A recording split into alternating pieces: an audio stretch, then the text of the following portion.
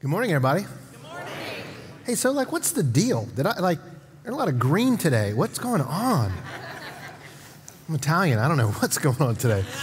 Just kidding. Yeah, good. Y'all look, y'all look great today. Hey, uh, as Pastor Ryan said, and I'm going to say just uh, just a little bit more about this, not because he didn't say it good, just because it's it's that important that we keep talking about this. Easter's two weeks away. Who are you going to invite to come to church with you? You know, there's a lot of research done in the church world extensive research. You know the number one reason why people don't go to church on Easter Sunday? Nobody asked them. That one's on us. I don't say that out of guilt. I don't say that out of shame. I say that out of inspiration and hope. I love what, I love what Pastor Ryan said. Let God do the God stuff. How about we just show up and ask? And see what could happen. Easter is the time when people are looking to be in church. We're going to talk about the resurrection. I'm going to talk about the gospel. We're going to give people a chance to respond to the gospel. Who, who are you going to invite to come with? Who are you going to ask to join you on Easter Sunday here at North Way? One more quick thing before I, I jump in. I want to show you this. Um, Carl and Bonnie Adler, great friends of mine, um, people that I love dearly, sent me a text. They had a meal moment. They gathered people around their table, and that is them well done, Carl and Bonnie. They got to share with me a little bit of the story of what went on. It was a, it's a tremendous story. And when we have more time, possibly even on video, we'll share with you an extended version of the story. But, but here's what happened. They, they invited some people over. They pushed through like the idea of what are we going to serve? And it's on and then it's off and then it's on again. All, the, all those things that happen when you're making plans with people. And they had, they had the gathering and get this, they hung out at that table for five and a half hours. It's awesome. Yeah, and, and I just say that because, um, like, that'll happen if, if we make the ask. If we gather people around a table, they made new friends, they deepen friendships. And here's, here's the cool thing Carl and Bonnie are, are like amazing followers of Jesus that I look up to. And they've had tons and tons and tons of experiences where God has stretched their faith. I know them, right? They have a big view of a big God. Well, that view got even bigger after this meal moment. God wants to give us experiences with Him. He wants to stretch our hearts and our minds about how good He really is. Meal moments will do that. They'll bring people into our lives. They'll help us develop even richer friendships, and they'll stretch our view of God and His goodness and His bigness. So here's what we're asking in this Around the Table series in the month of March or April or May. Take the challenge. Gather people around your table, deepen some friendships. Do it in the name of Jesus and watch God show you who He is. Again, all we got to do is take a step. Now, if you're like me, if you're a bit skeptic in your heart, because I am, one takes one to maybe know one or a few, you might be thinking, like, boy, Dave, this sounds an awful lot like a church growth strategy. It is. I'm never going to be embarrassed to say, I want our church to grow. Everyone will spend forever somewhere. Everyone. I took some time. I looked up the word forever in the Greek, in the Hebrew. I looked it up in the Irish for all of you wearing green today. forever means forever. And that means either with God in heaven or apart from God. And we call that place hell. Everyone will spend forever somewhere. So, yeah, I'm not ashamed to say we got a church growth strategy. We're supposed to grow. God has given us, Jesus died to give us the, the right and the role in the name of ambassadors for Christ, the ministry of reconciliation, the idea of building bridges with people who are far from God, of grabbing our oar and rowing back to people so they can become closer to us, so they can get out of the water and get in our boats with us, if you remember what we talked about at the beginning of the year. So I will never be ashamed with saying, like, I want this place to grow. Because it's not about North Way, it's about God's kingdom. Who are you inviting? When are you going to have a mealtime around your table?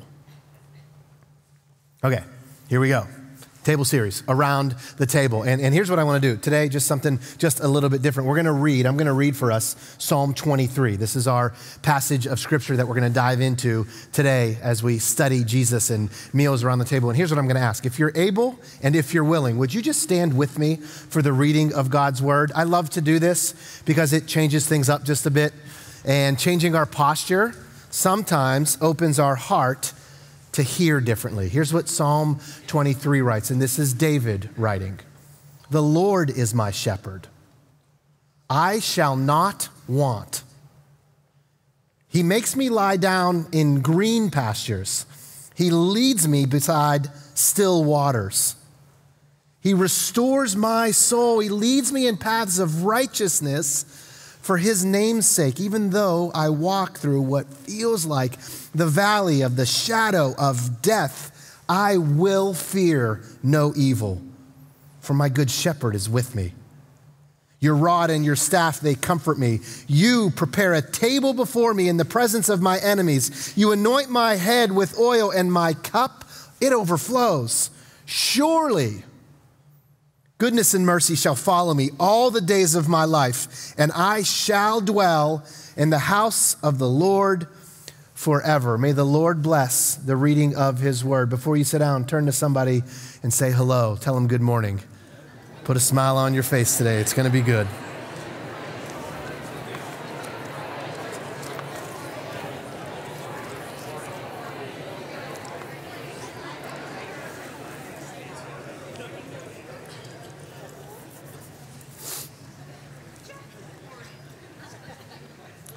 Hey, so you might be wondering, okay, so Dave, this, this doesn't jive. This doesn't feel like it connects. We've been looking about Jesus and his meal moments around the table. So primarily, we've been in Matthew, Mark, Luke, and John, the Gospels, the accounts, the personal eyewitness testimonies, the, the interviews about Jesus and his life and, and how much he spent time, how often he spent time around the table having meals with people. And today we jumped into Psalm 23. And, and, and if you don't know this, this is what's called a messianic psalm, it's a prophecy. David wrote this 3,000 years ago to help us understand who Jesus would be like and how he would interact with us. He's our good shepherd, and we're his sheep. And Psalm 23 is a beautiful passage of scripture that helps us understand just how good the Good Shepherd is. So I'm sure you heard the meal moment. He prepares a table before us in the presence or near our enemies. Like, we, we got to get this picture of Jesus. He like lays out a full course meal for us near our enemies. And when I think about Jesus, he spares no expense. I mean, God didn't spare any expense. He gave his son to die for us. So why would I think that this is a boxed lunch kind of meal? I had those when I played baseball in college. We went on the road and it was a boxed lunch and I was thankful, but I wasn't I wasn't really thankful.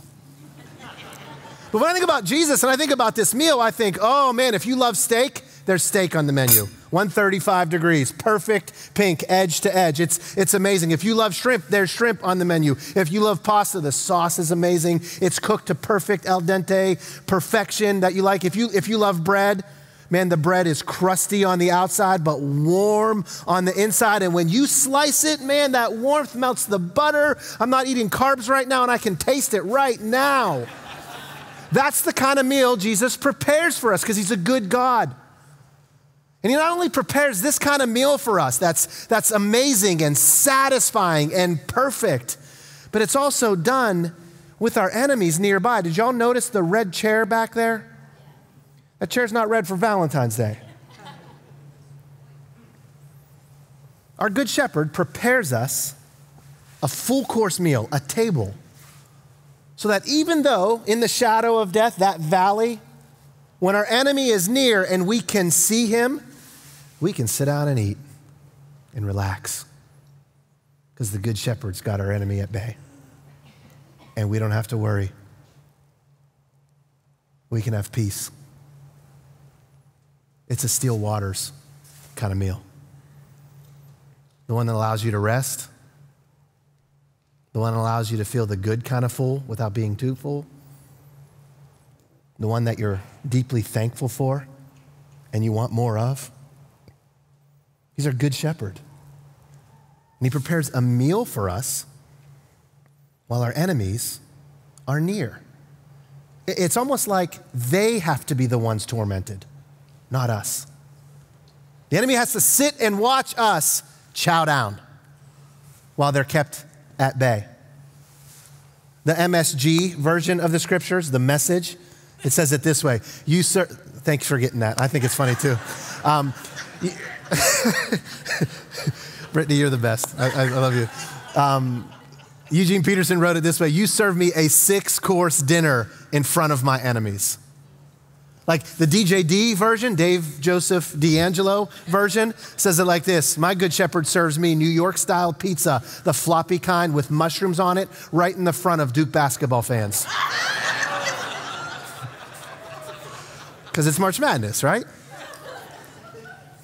Um, there, there's an author and pastor. He, he, he has a church down in Atlanta, Passion City Church, and it's a phenomenal church, and they do amazing work. And, and I know people who help do that amazing work, and the heart is really to help people know and experience and follow Jesus, especially young adult generation. Louis Giglio is his name, and he wrote a book called Don't Give the Enemy a Seat at Your Table. Don't let the enemy have a seat at your table. And it's a book about the, the fears we experience in life because the Good Shepherd is talking about our now and our future in Psalm 23. And Louis, it's an awesome book, and I highly recommend this book because he helps us understand and experience victory through Jesus in the battlefield of our mind when it comes to worry and anxiety and fears of our future. And, and this is what Louis writes as he studies Psalm 23. He says, In less time than it takes to snap your fingers. If you and I aren't careful, if, if Jesus' sheep aren't careful, the enemy can pull up a seat at the table that your shepherd has prepared for you. Meaning, sometimes the enemy isn't near our table, he's actually at our table.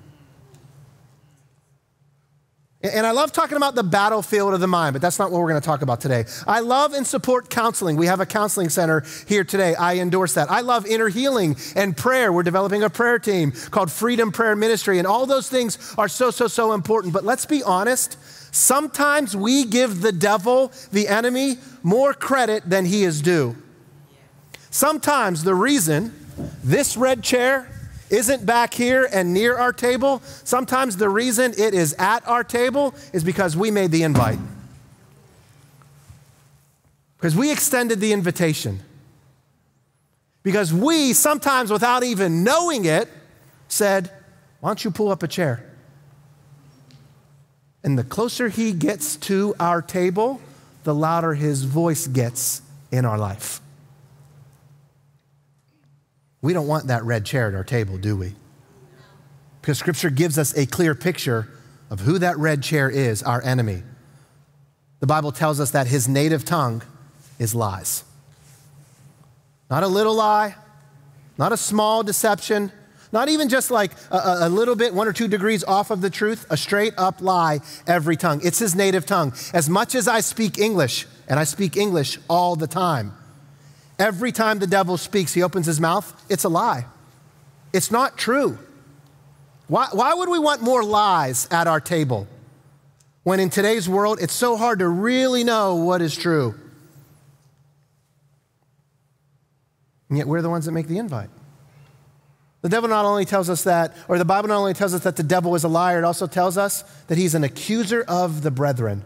That's found in Revelation. That, that, that's like a special one, I believe, that's directed for us, for God's sheep, the brethren, brothers and sisters in Christ. He accuses us.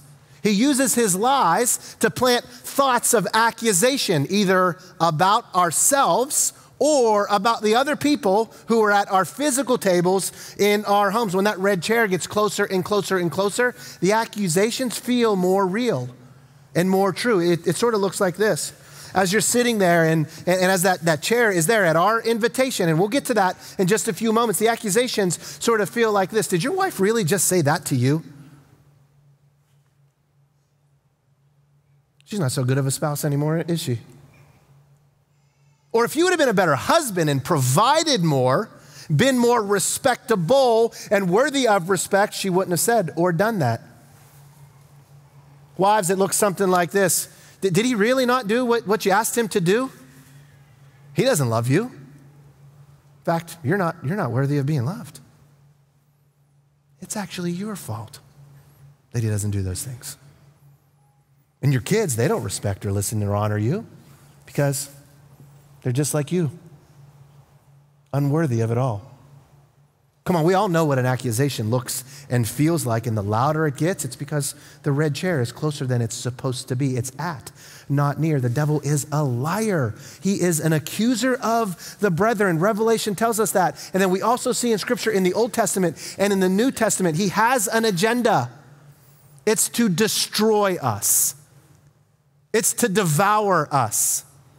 I don't know if you know this, back in Job, when, right before Job is about to be tested, uh, God asked like a question, and the devil, he's like, Where are you? And he said, I was roaming around the earth looking, looking for a victim.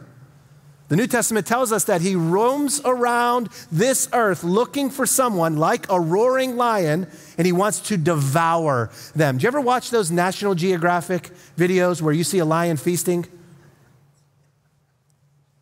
You want that at your table? Do I want that at my table?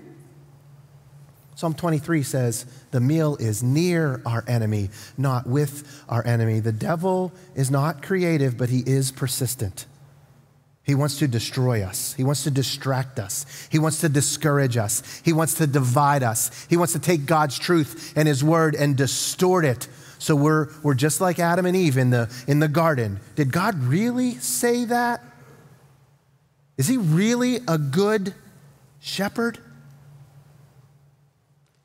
Maybe you'd be a better shepherd. Maybe you should take the wheel and step in. See, I think we know that he doesn't belong here at our table. But sometimes I'm not even sure we're aware of what we might be doing to give him that invitation. I want to read something to you. This is found in 1 Corinthians 7. This is Paul giving instruction to married couples. And I want you to hear what can happen when you and I have no self control in our lives. Don't deprive each other, sexually speaking. He's talking to husbands and wives, except perhaps by mutual consent and for a time so that you can devote yourselves to prayer. He's saying, come together sexually. And don't go, don't go a period of time without that. Make sure if you do choose to take a time for prayer, to not come together sexually, that you come together again so that Satan will not tempt you because of your lack of self control. Do you hear that? There's a direct correlation to spirit led, God's word aligned kind of self control in our lives and where that red chair is in relation to our table. The Bible tells us not to give the devil any form of an opportunity, not even in some translations, a foothold in our life. And sometimes it's a lack of self control that takes that red chair from near our table and invites it subtly to at our table. That whole idea of roaming around the earth looking for someone to devour, put it in this terms. He's roaming around, checking his mailbox, just, just longing for an invitation to our table. So his lies can get louder, so his accusations can get more real, and so division in your marriage, in your world, in your church, with your kids can be the thing you think you should do and that you actually deserve to do. We, we don't want him at our table. And this means, in order to uninvite him, we've got to be willing to step into spirit led self control. Again, I am all for talking about the battlefield of the mind. But sometimes there's a part we excuse ourselves from, and it's called being self controlled. It's a battle of our wills. It's an intentional orienting of our heart in God's word so we can walk in his ways. None of us want this red chair here. The question is, is what are we willing to do about it? So for me, in my, in my studies, as I read through um, Louis Giglio's book, and as I took time to reflect on my life, I've realized um, there, are, there are things where I lack self-control, where, I, where I'm not as in alignment my, my will, my flesh is, is sort of out of alignment. And I'm living as if I'm the good shepherd. I want to share those things with you in hopes today that perhaps this will spark some things in your life that you might see an opportunity to grow in self control. The first one is this I lack self control when I constantly feed my fears. Like when I, when I go to feed and, and listen to a feed that is only reinforcing the things I'm afraid of, I'm extending an invitation for the devil to sit at my table. Because when we feed our fears, we starve our faith. I'm talking about your social feed. I'm talking about a conversation feed. I'm talking about like, like the political news feed of our day. Have y'all, have y'all noticed that we don't use vision and hope to inspire people today? We don't report on what happened. All we do is we take a ton of time to say, oh man, here's what's gonna happen. Like, have, have y'all noticed? You listen to sports talk radio, simple example what this looks like. What's gonna happen with the quarterback of the Steelers? Oh my gosh, we should panic. Everything's a mess. There's nothing that you or I can do about this until the games get played in the fall. But boy, we're going to talk about it for hours and we're going to we're going to be pessimistic about it and we're going to we're going to plant questions and seeds of doubt and we're going to create chaos and discouragement and division and now we're going to be wondering what's going on down in Pittsburgh.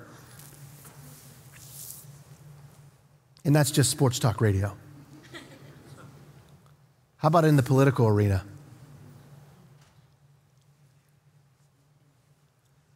You know what, you know what happens come election time with our social feeds and with news feeds and with conversation feeds? Everyone is peddling in fear rather than helping feed our faith. 2024 is going to be the most important election ever.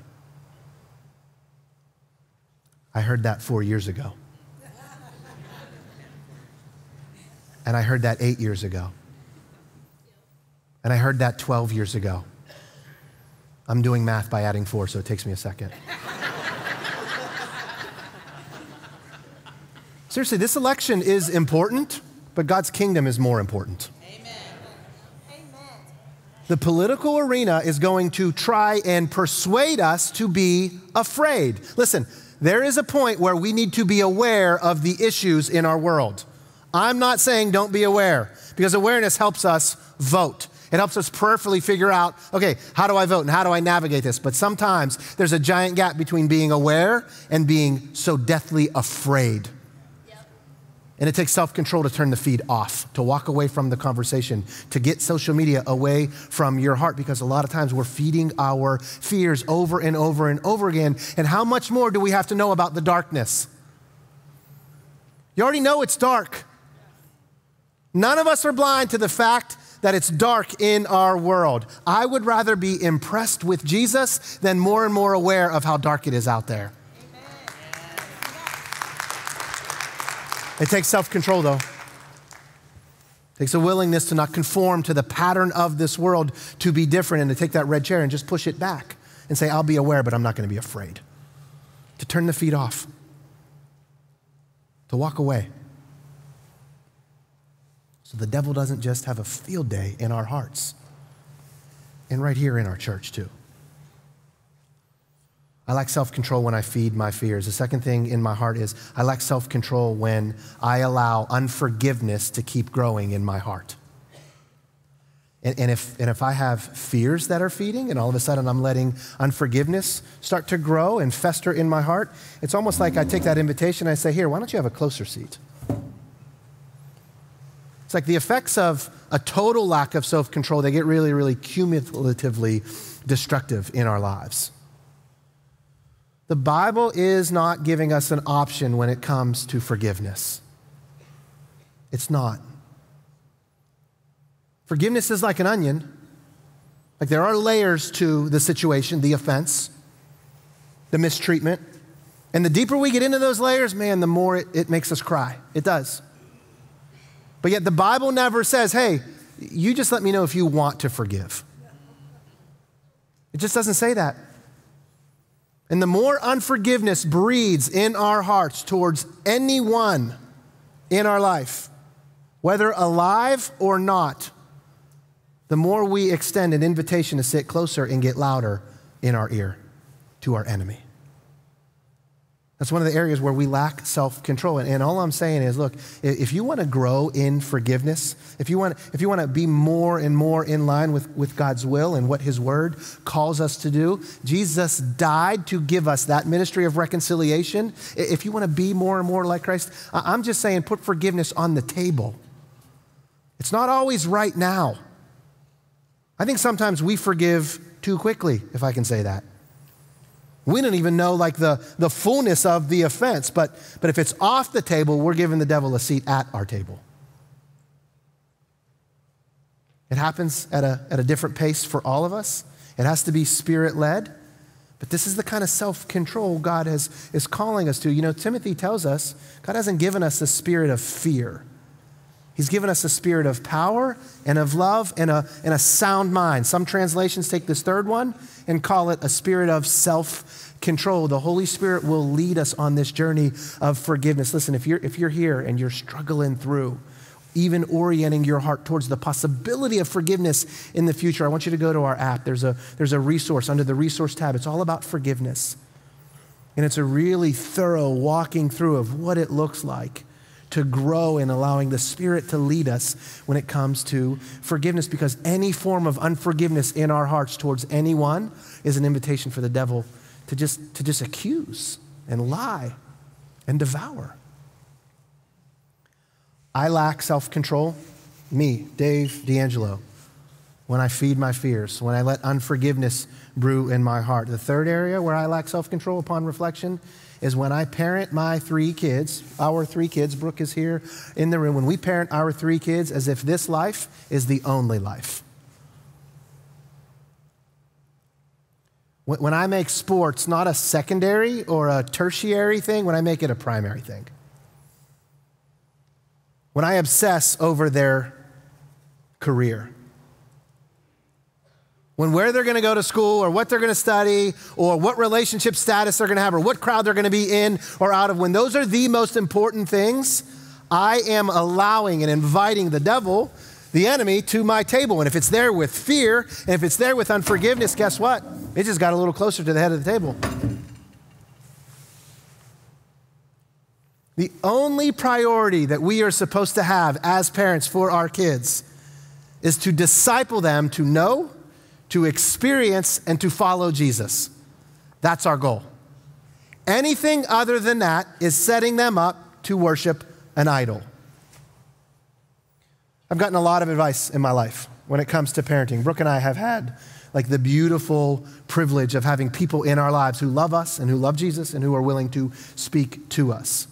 Lots and lots of advice. Two of them stick out to this day that have shaped our hearts and our tears and our strategy sessions and our apologies as well. The, the first one is a, a friend and a, and a, trusted guy that I love and is a spiritual mentor. His name is Joe. Um, he told us look, look, when you're a parent, your only job is to prepare your kids so that they'll respond with a yes the moment Jesus calls their name.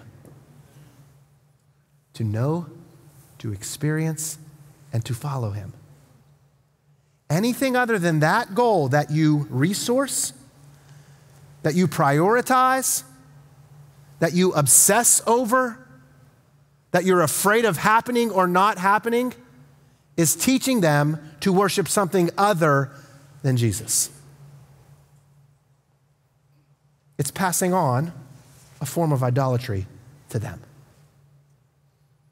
Mom and dad, our primary goal is to know that this life isn't the only life.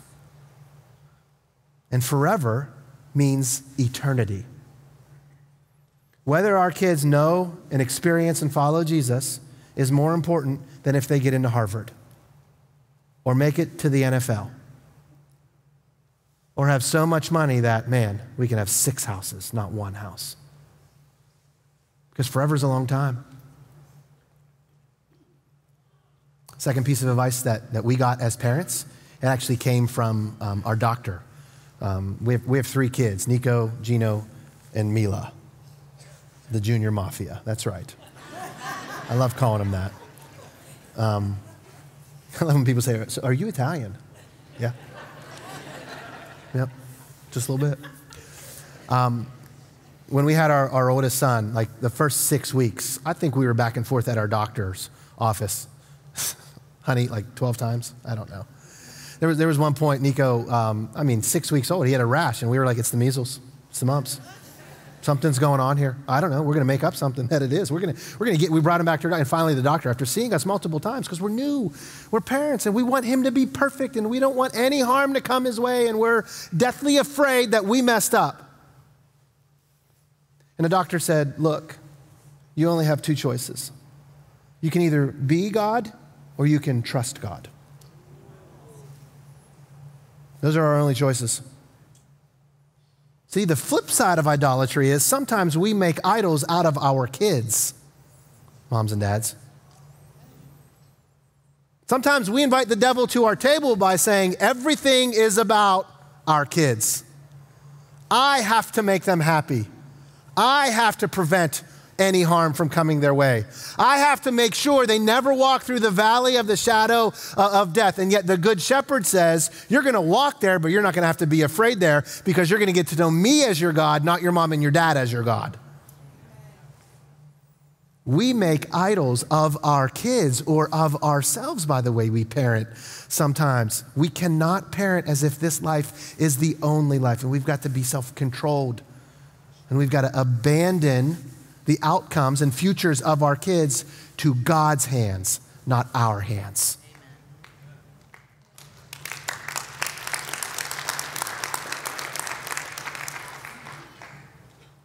Um, here's the fourth thing.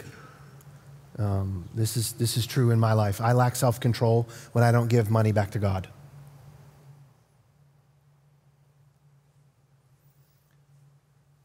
So many times I think my, all of my money is for me and from me. The Bible tells us when Jesus is teaching a parable about soil, which is our hearts, and seed taking root or not taking root, maybe being choked out. The seed is God's word. He tells us that some of the seed got choked out. It never took root because the soil was deceived by the riches of, uh, in, of wealth. Wealth is deceitful. Sometimes the, de- the devil just uses a tiny little tactic to just, just say, like, that, that's for you, you deserve this.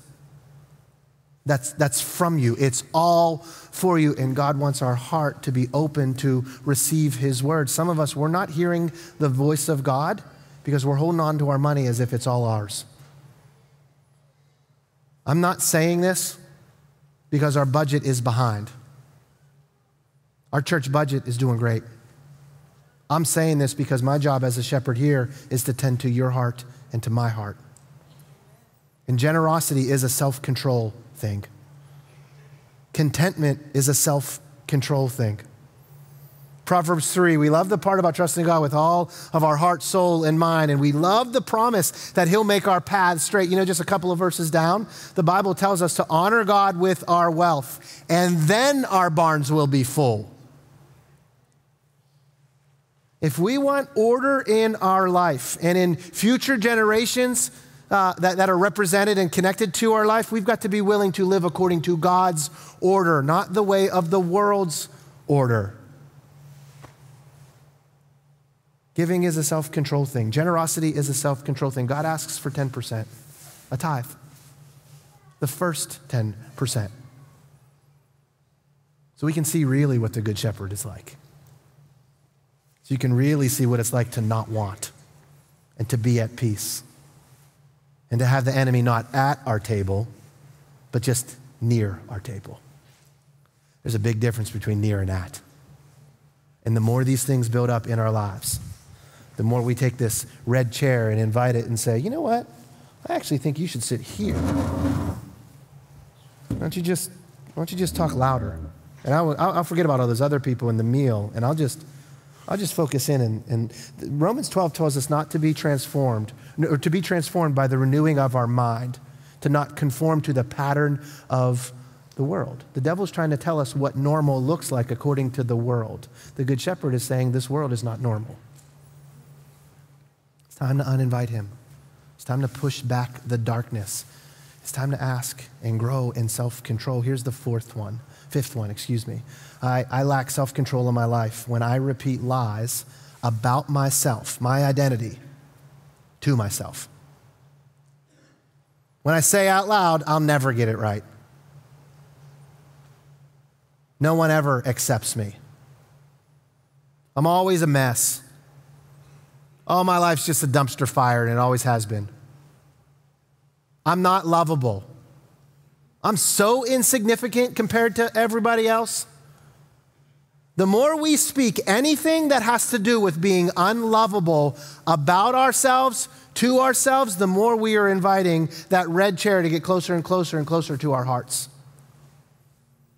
You know, a lot of times we think the lies about our identities that we're not worthy, that we're insignificant, that everything is out of control and it's all because of us. It's just something, a mess about us in comparison to everyone else. The, the, more we speak that, see, it doesn't get power from other people who say it to us. We think it's because of my coach in eighth grade who said this about me, or we think it's because of that girl who, when she broke up with me, she said this, and it's, it's always bothered me. It's not that they said it, it's that we kept repeating it. See, living in God's will, self control means renouncing those lies and an ending of the repetition of those lies. Someone once told me, Dave, you are too smart to be doing what you do at a church. And his words had no power over me. You know where they got life breathed into them? Is when I kept meditating on them by asking and wondering and repeating it and saying it and then saying it again. And I started to wonder, God, did you really call me? Am I really supposed to be in ministry? Is there, is there more? Is there, is, there, is there something else? Am I? Some of us, we've been repeating lies about ourselves to ourselves for years. And the devil has us distracted and divided. And here's the biggest one so discouraged. Jesus died for all of us. Your identity is that you are loved, that you are worth it to Him. And anything that we repeat about ourselves to ourselves that's different from that needs to be renounced and never repeated again. That's what self control looks like. That's what takes this chair and says, Get out of here.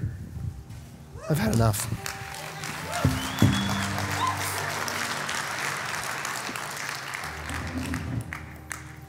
Proverbs tells us that this when a man or a woman lacks self control, they're like a city with their walls destroyed, and the enemy can come right in and do whatever they want. The enemy can have a field day and a seat at their table. Are there, are there any of us here that lack self control and want to have God lead us by his spirit to grow in self control? Just raise your hand right now.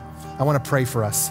Let's do it. I'm going to pray right now. God, thank you so much for your word, for your spirit, for the fact that we don't have to be dominated by our flesh, that we get to be led by your spirit that you breathed into us. So, Jesus, would you show us right now? Would you heal us? Would you point us in a new direction? We want to walk by your spirit, not by our flesh. And we want to enjoy that meal, not with the enemy at our table, but just with him near our table, but, but, but listening more to the good shepherd not the accuser of our souls.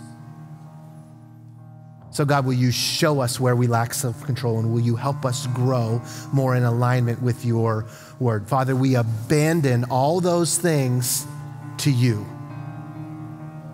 And we ask you to do what you do best to heal, to restore, to transform, to make new. I pray this all in the strong and beautiful and powerful and resurrected from the dead name of Jesus. And everybody said, Amen. Amen. Love y'all.